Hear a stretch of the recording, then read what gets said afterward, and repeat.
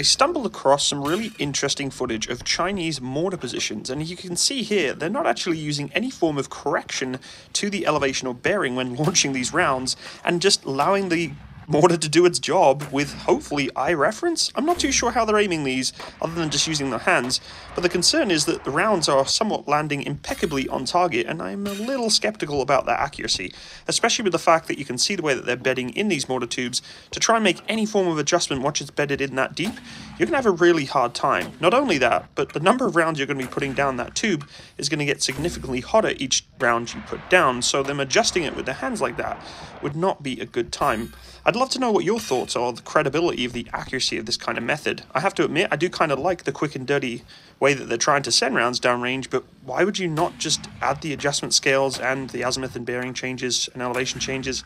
with the right equipment? I don't know, let me know.